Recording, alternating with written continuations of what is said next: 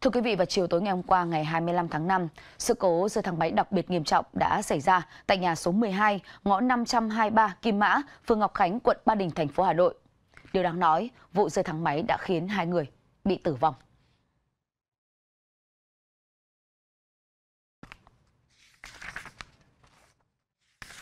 Vụ tai nạn xảy ra tại một căn nhà 7 tầng một tum trong ngõ tại phố Kim Mã. Công trình này đang trong quá trình cải tạo sửa chữa. Theo thông tin ban đầu từ Công an quận Ba Đình, hai người tử nạn do trượt cáp trong quá trình sửa chữa thang máy này.